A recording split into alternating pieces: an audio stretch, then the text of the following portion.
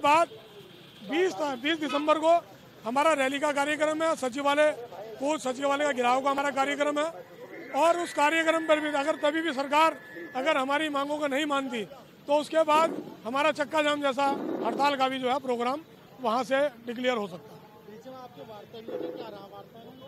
वार्ता हमारी हुई है, लेकिन वार्ता का कोई निष्कर्ष नहीं निकला है, क्योंकि तीन माह से तो अभी वेतन ही नहीं मिला रोडवेज़ के अंदर। उसके लिए भी कर्मचारी तमाम, हमारा कर्मचारी परेशान है। एक तरफ़ सेवानिवृत्त कर्मचारियों को हमारे तमाम जून के बाद से ग्रेचुटी अभी तक नहीं मिली। चार छः महीने होने को आगे। तीन महीने से वेतन नहीं मिला। कर्मचारी परेशान है। दूसरी तरफ़ हमारी जो प्रॉपर्टी है उत्तराखंड परिवहन की, उन्हें खुर्द खुर्द किया जा रहा।